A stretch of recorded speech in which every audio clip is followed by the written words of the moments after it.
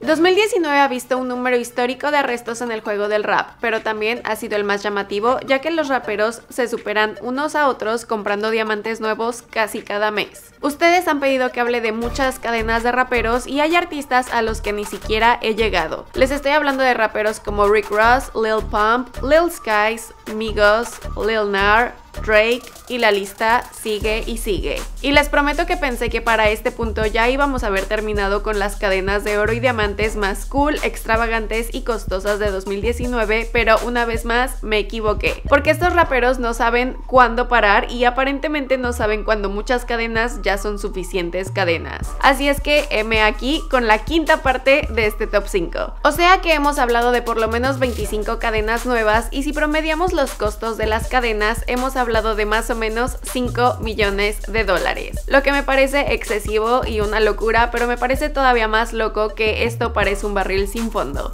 Pero como siempre les digo, mientras ustedes me sigan pidiendo estos videos, yo los seguiré haciendo.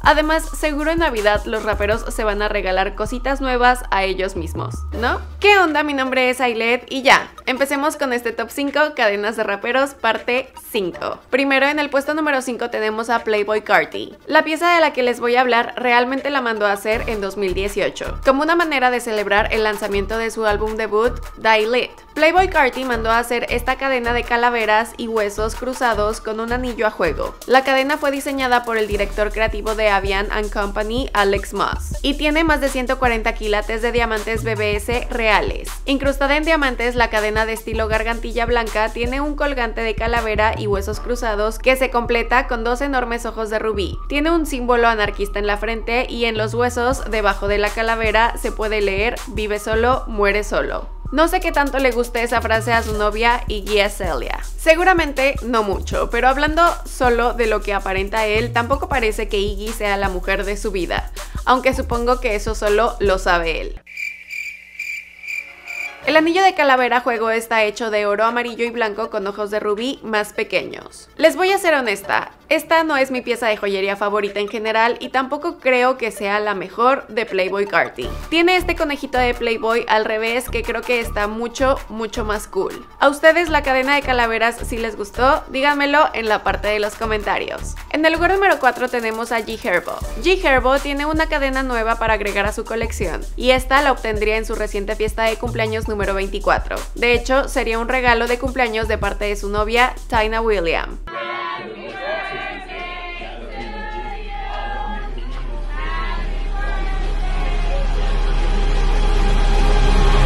Esta cadena tiene la foto de su abuela y en la parte de atrás tiene grabado Tony Diane Clay y la fecha 21 de mayo de 1953 a 10 de abril de 2016. Este regalo hizo llorar a Herbo, se puso bastante emocional al recibirlo y para animarlo también le dio 24 cigarros y no precisamente de tabaco. Oh, wow. Oh, wow. Oh, boy. Oh, don't cry. Oh, oh. Es bueno saber que este hombre encontró el amor y está feliz porque antes solo salía con groupies, quienes por cierto le robaban sus cadenas. Antes de publicar los videos de su fiesta de cumpleaños, G Herbo publicó este video de Antes de ser famoso, en donde lo podemos ver bailando y cantando. En ese video también se escucha la voz de su abuela hablando. Publicó este video con la leyenda LOL. Escuchar la voz de mi abuela en este video solo me hizo pensar en todo tipo de otra mierda que me hace apreciar mi vida. Creo que ese video que su abuela jugó un papel realmente importante en su vida.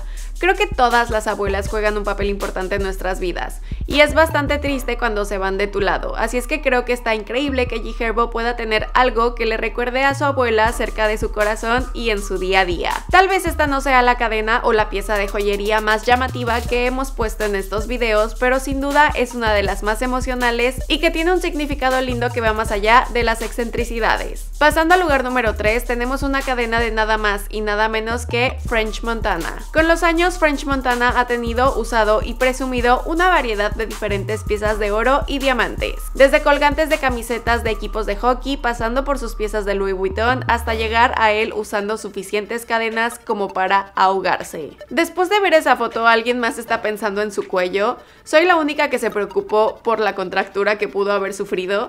Espero que no. Actualmente French Montana mandó a hacer algo especial y único para 2019.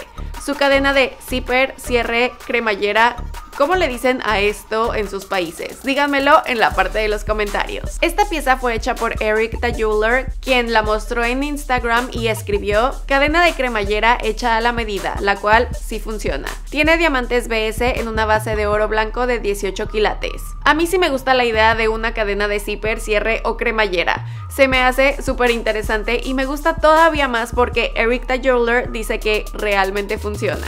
Esta no es la primera vez que Frenchy, le puedo decir Frenchy, ¿no? Esta no es la primera vez que Frenchy manda a hacer piezas personalizadas con Eric the Jeweler. El año pasado gastó 100 mil dólares por tres cadenas de diamantes de corte baguette y talla esmeralda. La cadena, la cual es un conjunto de tres piezas, pesa un total de 51 quilates. Y miren, yo no sé mucho de la vida ni de la joyería en general, pero el término de diamantes talla esmeralda suena realmente cool.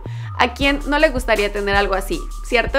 También mandó a hacer una pulsera de otros 7.5 quilates y dice que no se necesita de un estilista cuando tienes a Eric the Jeweler a tu lado para que te estilice. En el lugar número 2 tenemos a Kodak Black. Yo sé lo que me van a decir. Ailet, pero Kodak está en la cárcel. ¿Cómo pudo haber comprado cadenas de oro y diamantes nuevos?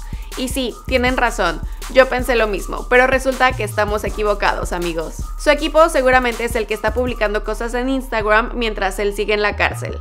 Durante los playoffs de la NBA escribió o le escribieron otro cumpleaños viendo las finales en este lugar, LOL. Y después de eso publicó un clip de su cadena más nueva, la cual es un chupete o chupón. La cadena tiene diamantes deslumbrantes en blanco y verde azulado y tiene escrito Project Baby en la parte de atrás. Esta cadena fue comprada en mayo. Kodak decidió jugar con su apodo y el nombre que ha usado en álbumes y canciones y quiso ponerlo en una cadena de oro y diamantes que esperemos pronto pueda poner en su cuello. El diseño y nombre de la cadena es bastante claro, pero no puedo evitar preguntarme si raperos como Da Baby y Lil Baby piensan que este tipo de cadenas les irían mejor a ellos. Digo, por su nombre artístico. ¿Ustedes qué piensan? Y finalmente, en el lugar número uno tenemos a la persona que está en el thumbnail de este video, el buen Posty. Esta vez Posty aparece en esta lista con la que es su más reciente compra.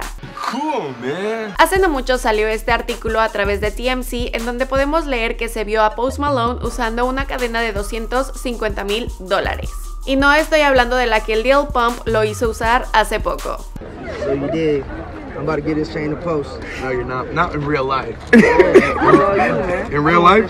You don't want that shit no more? Nah, it's more like you than look like And look, it does look like me. wow, thanks. You're the best guy ever. Wow. Isaac de Angel City Jewelers es el maestro detrás de esta cadena y colgante masivo, y se la entregó en el AT&T Stadium en Arlington, Texas, durante el segundo festival anual que Post Malone hace en su ciudad natal, el cual es conocido como Posty Fest y se llevó a cabo el 2 de noviembre de este año. Espero que a estas alturas de nuestra relación ya sepan, porque he hecho muchos videos en Posty, que su papá trabajó para los vaqueros de Dallas en el estadio de ATT, por lo que tiene sentido que use algo representando a su equipo y supongo que al de su padre con esta cadena nueva. La manera en la que Isaac tituló la publicación que compartió en Instagram decía, como diría Posty, nadie tiene esa mierda. La gente va y viene, pero la familia es para siempre. Te amo Posty, gracias por permitirme ser tu joyero personal durante 5 años ya. Miren, por lo que yo sé, Posty es del tipo de hombres leales. Lo es con su equipo, con la gente que le ayuda y ahora sabemos que también lo es con los joyeros. Esta nueva cadena incluye 3.000 piedras, 9.7 quilates de diamantes de baguettes, 13.5 quilates de zafiros y 8.7 quilates de diamantes. También tiene una inscripción del número 77 en la parte de atrás, el cual es el número favorito de Posty por si no lo sabían. Poco después de haber recibido su nueva cadena llena de diamantes, Post Malone obviamente fue a un juego de los vaqueros de Dallas para apoyar a su equipo con todo. A este juego fue con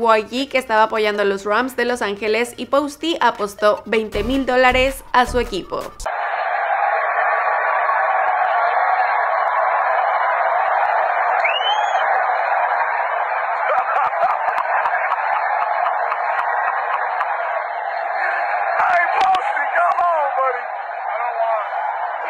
Al final no solo gastó 250 mil dólares en la cadena, también perdió los 20 mil dólares que le apostó a su equipo. Yo obviamente jamás le he apostado una cantidad así a mi equipo de americano favorito, pero entiendo el dolor de Posty. Los Steelers también lo hacen muy mal la mayoría de las veces. Y aún así lo sigo apoyando. Así es que creo que aunque los vaqueros pierdan, Posty seguirá usando su cadena nueva.